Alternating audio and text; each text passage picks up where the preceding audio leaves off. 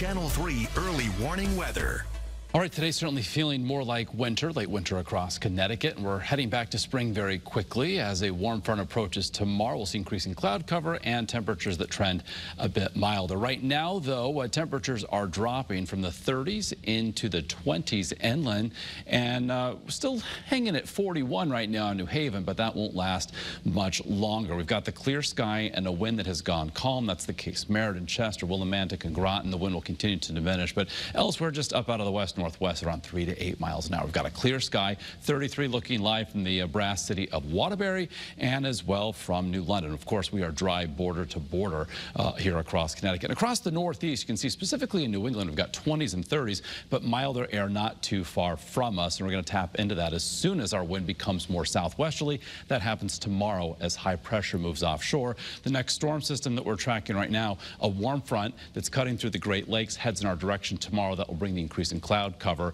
And then this area of low pressure that's moving uh, into the northern plains heads into the Great Lakes, and that's going to uh, eventually bring uh, some wet weather into Saturday strengthening the southwesterly flow and then eventually even some thunderstorms as that cold front moves through later Saturday evening. So here's a check of Futurecast as we head from the evening into the overnight hours or through the overnight hours I should say toward daybreak tomorrow. Uh, some filtered sun as we wake up. That's going to be it for sun tomorrow. Otherwise overcast for our Friday with an increasing chance for scattered showers. Nothing too terribly heavy for the evening commute. Highs tomorrow late in the day upper 40s and lower 50s.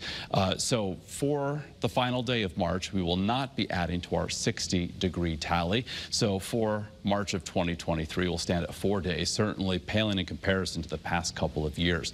Uh, so as we head into tomorrow evening, again, we've got this warm front that will initially bring us some showers. That southwesterly flow really gets cranking on Saturday. Gusts could go up to, if not over 30 miles an hour. And then we've got this cold front that moves through in the evening. Behind this, we trend cooler for the second half of the weekend. So looking specifically uh, for Saturday, we should point out here wind gusts up to, if not over 30 miles an hour. Uh, Futurecast for Saturday morning, a little bit closer look here, breaking down the storm system for us here in Connecticut. Plan for wet conditions. You'll want to maybe have indoor activities or plans, maybe do a little housework on Saturday morning. Rain steady, perhaps moderate to heavy at times. And then that wraps up around lunchtime. We've been forecasting a lull, and now as well we could see clearing. And the sun that we see on Saturday afternoon could help boost temperatures 70 or higher. That will also lead to some instability as that cold front approaches from the west. That's why we'll run that risk at least for some late day thunderstorms as we head toward around sunset on Saturday.